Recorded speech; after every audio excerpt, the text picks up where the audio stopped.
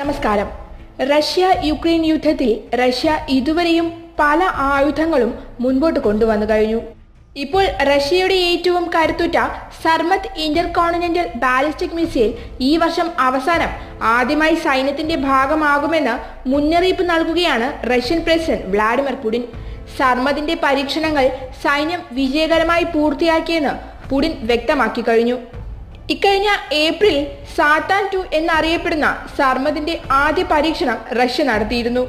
ഏറ്റവും അകലെയുള്ള ലക്ഷ്യസ്ഥാനത്തെ പോലും തകർക്കാൻ ശേഷിയുള്ള ലോകത്തെ തന്നെ അതിശക്തമായ മിസൈലാണ് സർമതെന്ന് റഷ്യൻ പ്രതിരോധ മന്ത്രാലയം അവകാശപ്പെടുന്നുണ്ട്. ആറായിരം കിലോമീറ്ററിലേറെ അകലെയുള്ള സ്ഥാനത്തെ ലക്ഷ്യമാക്കി കുതിക്കാൻ കഴിയുന്ന സർമതിനെ പത്തിലേറെ ആണവ പോർമുനകൾ വഹിക്കാനുള്ള ശേഷിയുണ്ട്. യു കെയും യു എസും സർമതിന്റെ പ്രഹരപരിധിയിൽ ഉൾപ്പെടുന്നു. രണ്ടായിരത്തി ഒൻപതിൽ നിർമ്മാണം ആരംഭിച്ച സർമത് നിലവിൽ വരുന്നതോടെ സോവിയറ്റ് കാലഘട്ടത്തിലെ വോയേവോഡ മിസൈൽ സിസ്റ്റത്തെ റഷ്യൻ സേന ഡികമ്മീഷൻ ചെയ്യും.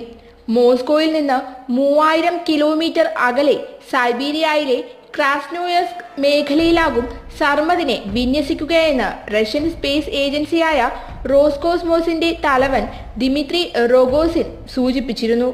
അടുത്ത നാൽപ്പത് വർഷത്തേക്ക് റഷ്യൻ ജനതയുടെ സുരക്ഷ ഉറപ്പാക്കുന്ന സൂപ്പർ വെപ്പൺ ആയാണ് സർമതിനെ റോഗോസിൻ വ്യക്തമാക്കിയത്.